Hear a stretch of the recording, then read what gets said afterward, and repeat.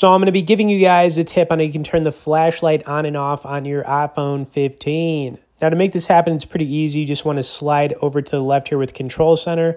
Then you're going to see the flashlight icon in the bottom left-hand corner. Now the cool thing here is when you actually hold down on the flashlight, you can actually make it you know, lighter or darker. So check this out. So if you want to go full blast with it, you just bump it up all the way to the top. If you want to go a little bit more dimmer, you could go back downwards. Um, and yeah, that's really it. Uh, anyways, I hope you guys enjoyed this quick tip. It's always good to, you know, use this flashlight, uh, you know, when it's dark out or whatever you might need it for. I'd also like to point out that you guys can get on our Tech newsletter where we send out one email a week on only the good stuff directly below in the description.